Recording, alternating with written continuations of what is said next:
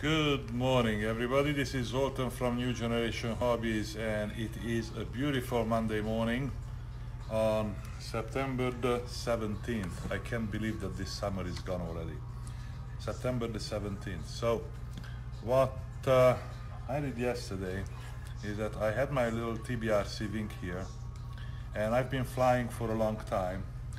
This was thanks to Anthony Biker, who actually sent me the wing so I can build it myself and I can demo it and fly it around. But anyway, I changed the motor on it. I put a 2700 kV 2306 on it, and this thing just screams on for sale.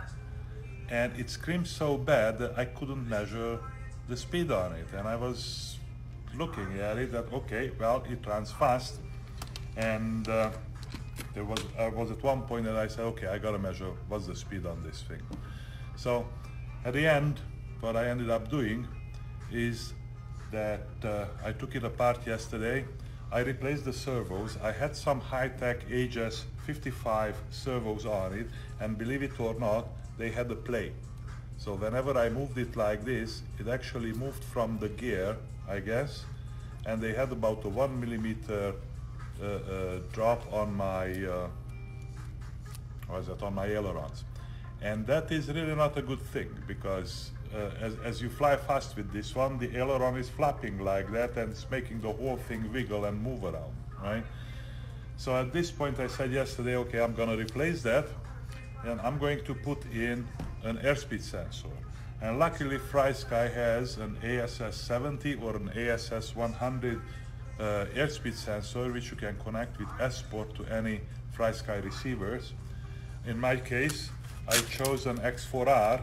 I replaced the already existing uh, D4R in this one with an X4R which actually can, uh, can do telemetry.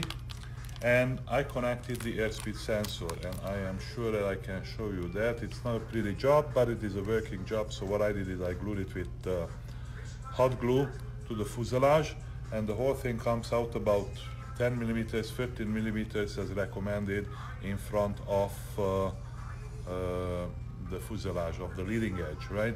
With that one, it's actually able to measure proper um, airspeed.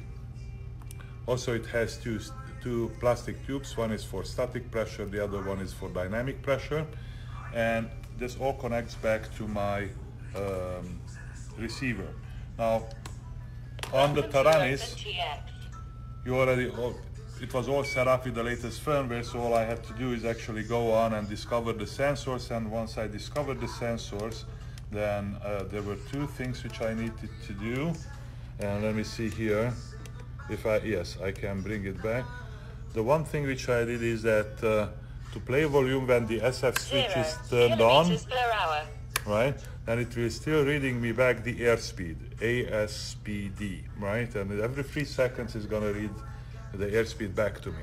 Now this, after a while it can become annoying, so you can turn it on or you can turn it off with this one. So you read it when you really need it.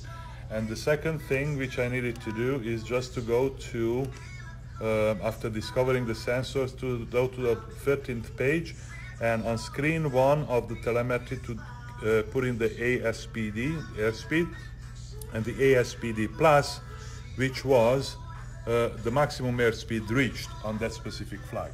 So at that point when you finish your flight and you come back and you read this off, here it's gonna to give you the, the airspeed which is at the moment, and in the middle range it's gonna give you the, uh, the maximum airspeed read on that flight. So with that I went flying yesterday, and this little thing reached about 140 kilometers maximum speed. 140 140 kilometers maximum speed. So that's what uh, I measured it on the first flight and on the second flight I managed to throw it myself and do a really fast takeoff and into the ground after that. So look at that. It's broken. Now anyway I gotta have to use some glue to glue this back and the whole thing is gonna go back in the air in almost like no time with all that guys i hope that uh, if you have a wing or if you have an airplane and you want to read back the airspeed on it there is a really easy setup for that get one of those two sensors A- ASS-70 or ASS- I think 100 is the other one. That's a high precision. And on these ones, you don't need a higher precision. The higher precision can go up to about 307, 370 kilometers per hour, while this one can read only about 270. I think 270 is plenty enough. Anyway, with all that, thanks you guys for watching and have a great week. And I hope to see you at New Generation Hobbies. Bye.